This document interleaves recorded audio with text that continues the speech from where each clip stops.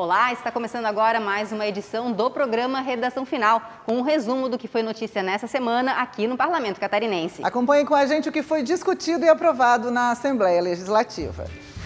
SC mais inclusiva em debate na Alesc. Seminário discute direitos dos animais. Rede Feminina de Combate ao Câncer completa 60 anos. Projeto pede benefícios para doadoras de leite humano. Dia do Professor lembrado com carinho pelo Parlamento. Esses são os destaques da semana aqui no Redação Final.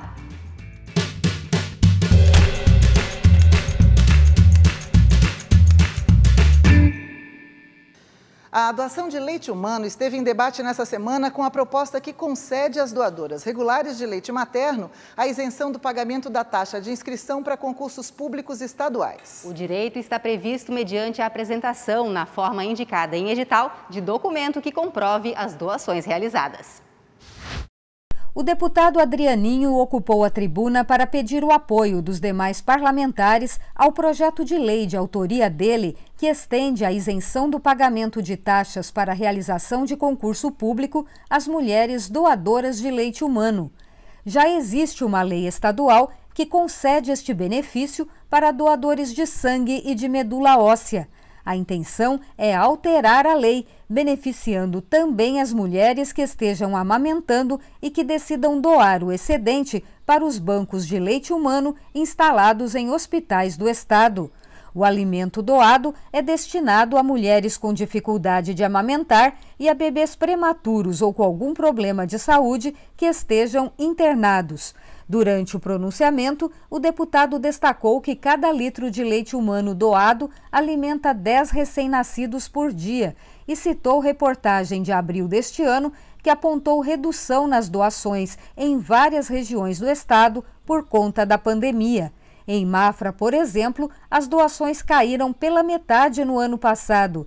E na Grande Florianópolis, o Hospital Regional de São José chegou a ficar 20 dias consecutivos sem nenhuma doadora. Esta casa aqui tem se destacado, já, a gente já tem acompanhado em outras oportunidades, como a questão da criação do Maio Branco, dedicado à realização de ações para estimular as doações né, sobre a questão do aleitamento materno. Nós apresentamos essa proposta legislativa para que possa ser é, ampliada essa discussão da doação do leite materno no estado de Santa Catarina.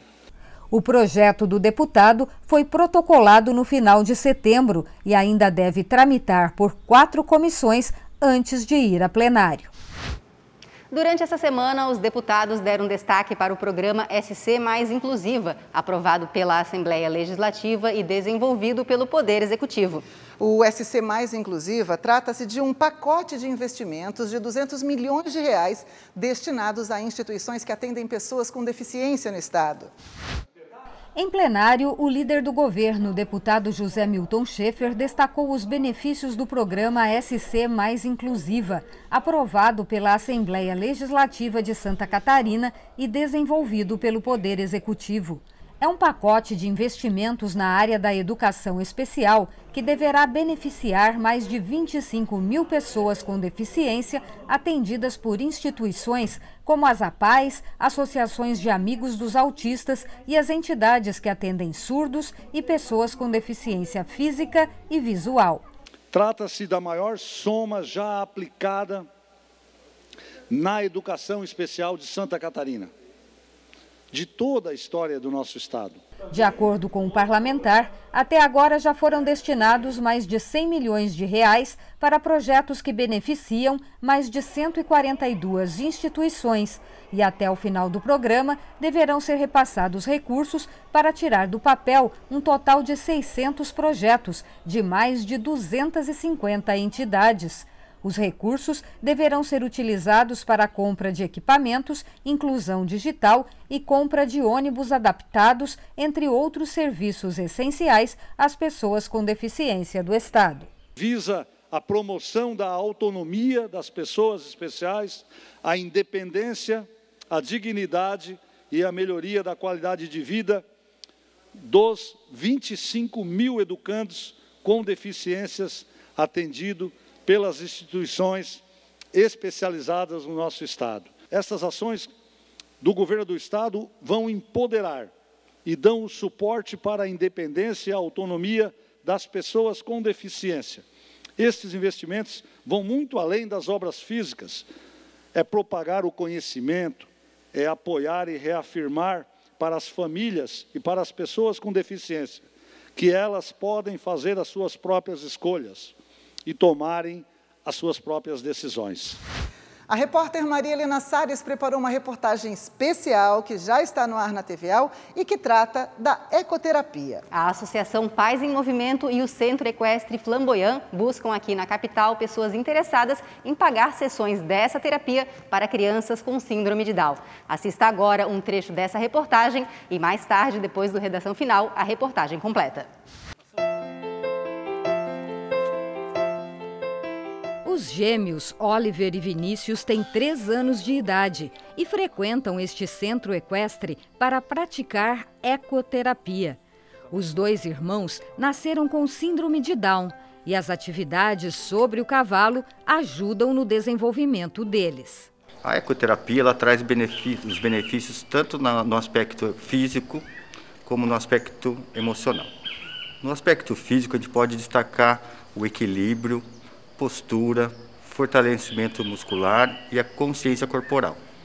Com relação ao aspecto emocional, nós percebemos que a criança tem uma elevação da sua autoestima, ela começa a ter uma autoimagem positiva, além da autoconfiança. O cavalo é um instrumento terapêutico, né? Ele é um animal de grande porte, então ele traz todos esses benefícios para o nosso praticante, que vem motivado para o atendimento.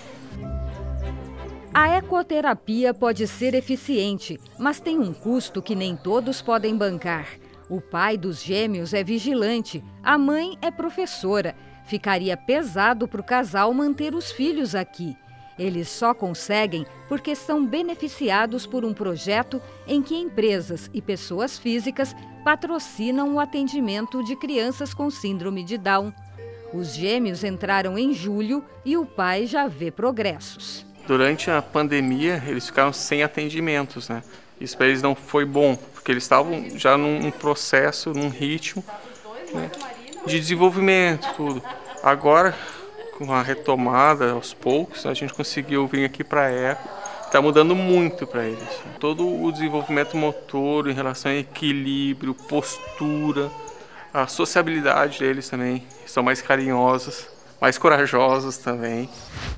Você vai ver no próximo bloco. A Assembleia presta homenagem aos 60 anos da Rede Feminina de Combate ao Câncer em Santa Catarina.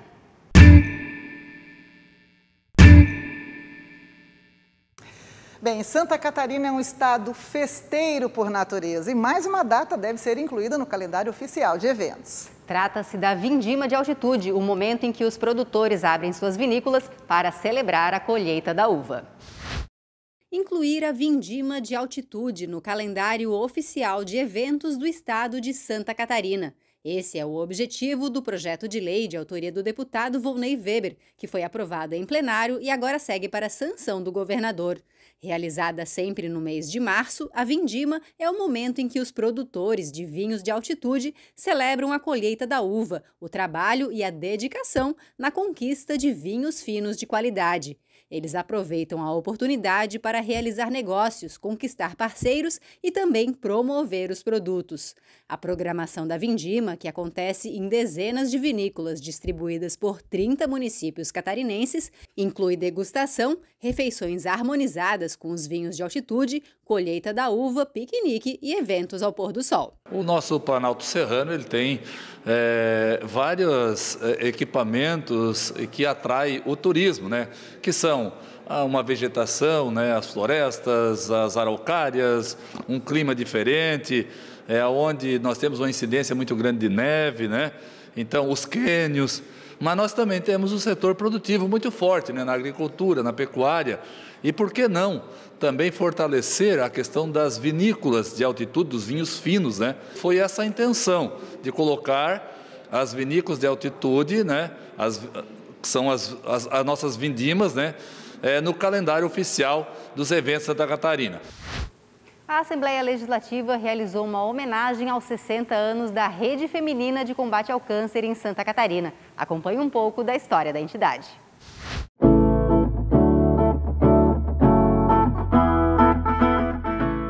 Cor rosa é a marca registrada dessas mulheres que dedicam parte da vida à missão de salvar outras vidas. Que as pessoas, quando têm o câncer, elas perdem, como se diz, o chão. Elas ficam com o seu emocional muito abalado e a família também.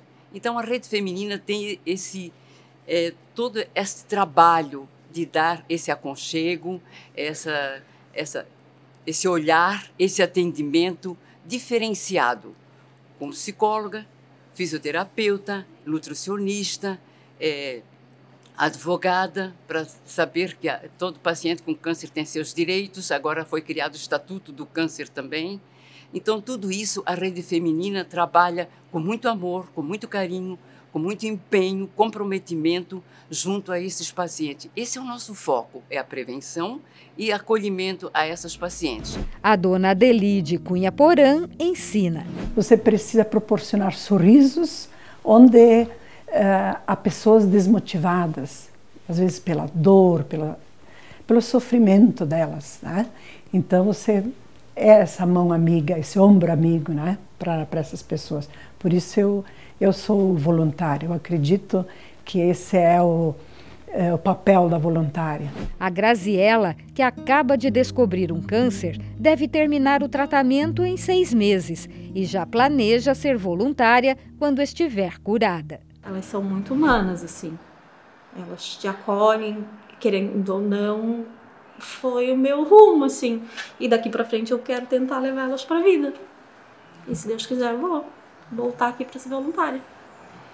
Quero ser voluntária também, ajudar quem me ajudou. Quero poder abraçar a causa porque a gente sabe que é importante.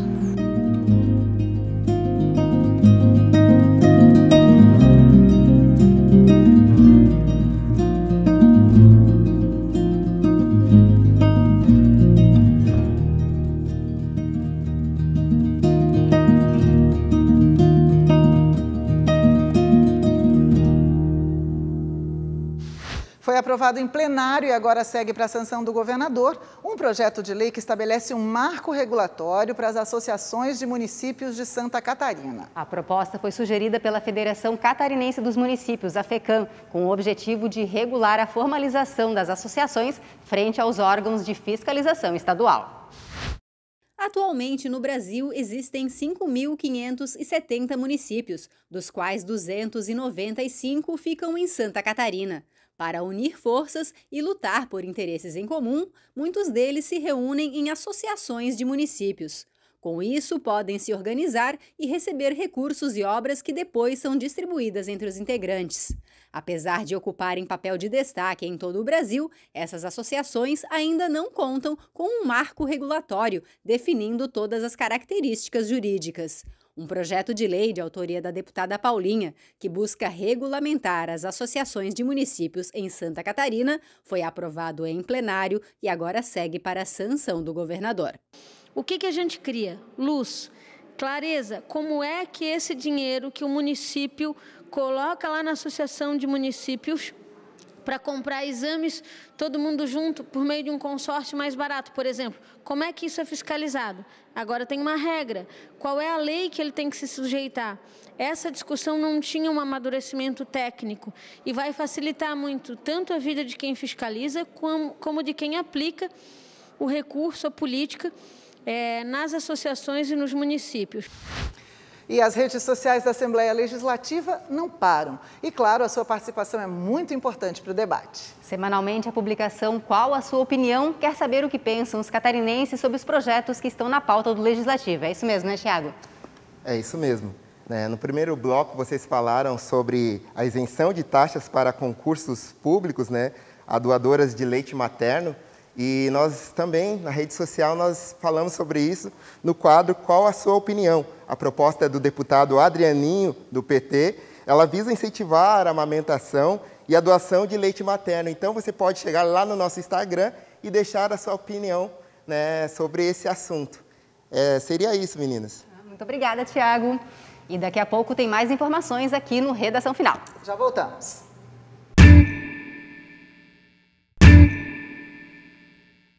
Representantes de ONGs de proteção animal, protetores independentes e autoridades ligadas à causa definiram durante reunião a estruturação de uma política animal aqui em Santa Catarina. O grupo pretende criar uma diretoria ou uma gerência que cuide dessa área aqui no estado. A deputada Paulinha promoveu na quarta-feira a primeira reunião para definir regras claras e efetivas para a adoção de uma política pública em benefício dos animais em Santa Catarina.